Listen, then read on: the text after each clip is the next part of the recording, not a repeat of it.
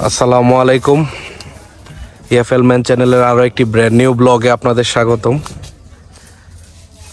অনেক দিন পর আবারও আমাদের সেই লেবু বাগানে। এখন লেবু বাগানে আজকে সকাল সকাল ওষুধ দেওয়া হচ্ছে।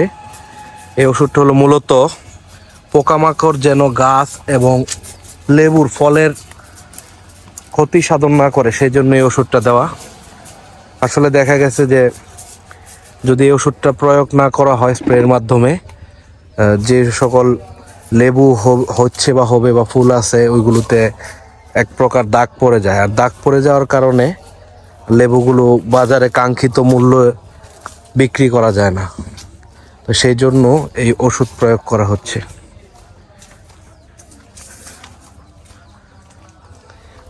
এবং মোটামুটি পোকামাকড় থেকে আসলে অনেক সময় লেবুর উপরের যেই ব্যাপারটা থাকে, যে সৌন্দর্যটা থাকে, ওটা না দেখলে অনেকে নিতে চান না বা যারা পাইকারি বিক্রেতা আছে তারাও নিতে চান না। এবং যে ধরনের মাকড়সা থেকে শুরু করে অন্যান্য ধরনের পোকামাকড় যারা আছে, এগুলো লেবুতে প্রচুর ক্ষতি সাধন করে যদি ওষুধ বা স্প্রেটা না করা হয়। তো লেবু বাগানের মধ্যে আবার এরকম দু একটি করে কলা গাছ লাগানো আছে। এখানে লেবুর পাশাপাশি কিছু কিছু কলাও হয়। এই যে সাইড দিয়ে কলা গাছ লাগানো আছে।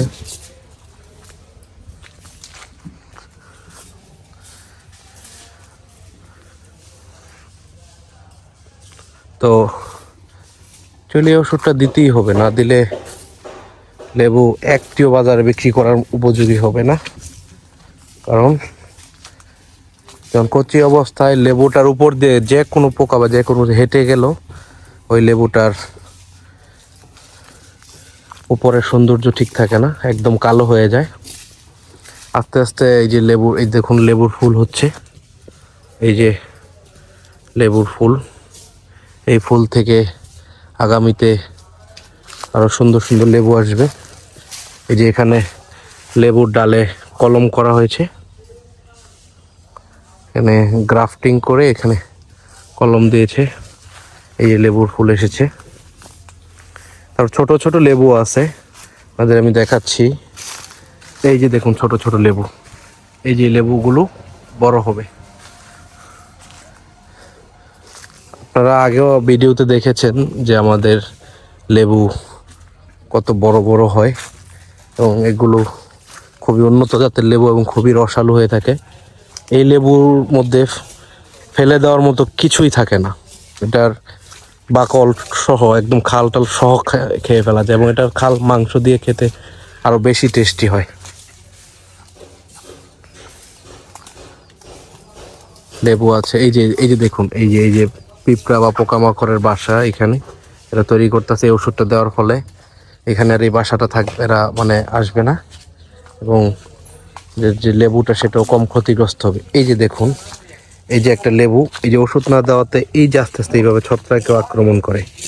দেখুন লেবুটার গোড়ায় ছত্রাকের আক্রমণ দেখা যাচ্ছে। এই যে, এই ধরনের ছত্রাক এবং সব কিছুর আক্রমণ থেকেই বাঁচতে পোকামাকড় আক্রমণ থেকে বাঁচতেই লেবু খেতে সাধারণত ওষুধ দেওয়া হয়। এই যে ছোট ছোট লেবু, এগুলো বড় হবে অনেক। এবং আস্তে আস্তে ধীরে ধীরে সামনে সিজনে বিক্রি করার উপযোগী হবে। এই যে নতুন ফুল আসতেছে, দেখুন। এই যে কুড়ি এবং ফুল। তো আজকের ব্লগ এই পর্যন্তই। যারা যারা ভিডিওটি দেখেছেন, ভালো লেগেছেন, অবশ্যই আমাদের অ্যাপ্রিসিয়েট করবেন। সকলে ভালো থাকবেন। আসসালামু আলাইকুম।